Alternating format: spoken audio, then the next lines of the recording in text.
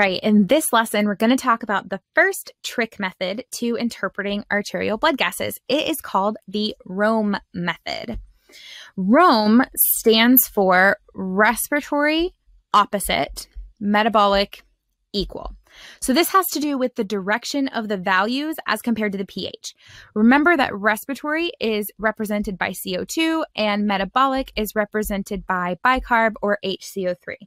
Some people have actually also referred to this as the arrow method, and you'll see why. So, we have two options for an abnormal pH. It can either be high or alkalosis, or it could be low or acidosis. For each one of these conditions, you could have a respiratory or a metabolic cause. So you could have a respiratory alkalosis, a metabolic alkalosis, a respiratory acidosis, or a metabolic acidosis. So when we talk about opposite and equal, we're looking at these arrows. Again, just why some people call it the arrow method. So, respiratory is opposite, metabolic is equal. So, if the pH is high and it's respiratory, then the level will be low, opposite. So, that's the CO2. If the pH is high and it's a metabolic source or a bicarb issue, the bicarb would be high also, equal. You see it? Opposite, equal. All right. So if the pH is low and it's respiratory, then the CO2 would be high, opposite. If it's a metabolic issue and the pH is low, then the bicarb would also be low because metabolic equal.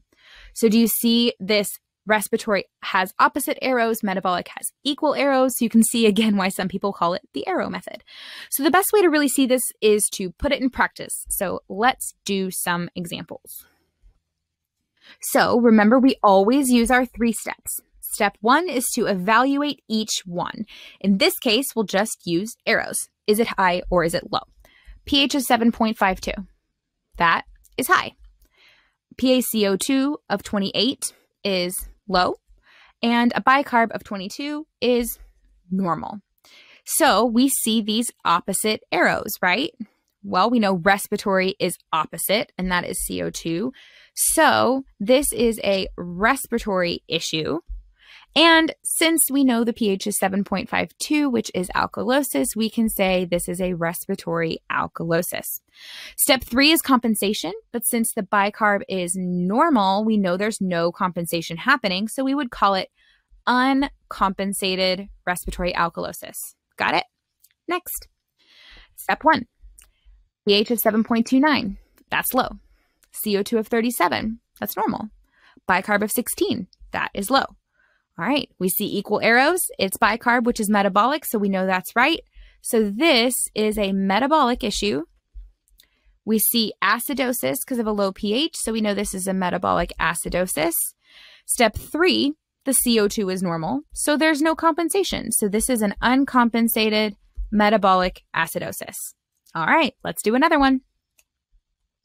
Step one, pH is 7.32. That is low. CO2 of 55. That is high. Bicarb of 29. That is high. So now we have to think critically a little bit. The respiratory level is showing opposite arrows. Is that what we expect? Yes. The metabolic level is also showing opposite arrows, but we know for metabolic to be the source, it should be equal. So that can't be our source. So now we can safely say that our source is respiratory. And because of a low pH, we know it's a respiratory acidosis. So what's really going on here? Well, let's go to step three. Are the CO2 and the bicarb both abnormal? And are they representing opposite conditions? Yes, the bicarb is high, alkalosis because it is trying to fix the problem, right? So we know that there's some compensation going on. Since the pH is still abnormal, we would call this partially compensated respiratory acidosis. So this is kind of where the arrow trick comes in too. If your CO2 and your bicarb have arrows going the same way, then you know you have compensation. All right, let's do one more. Step one, pH of 7.44 is normal. PaCO2 of 52 is high. Bicarb of 35 is high. Okay, don't skip steps here. Step two, what is our source? Well, our pH is normal, but we know there's a problem, right? So is the pH on the high or the low side of normal? Well, if we know pH is 7.35 to 7.45 and we're looking at a 7.4, we are on the high side of normal. So go back to Rome. Respiratory opposite? Nope. Metabolic equal? Yep. Okay. So this is a metabolic alkalosis because of that higher pH.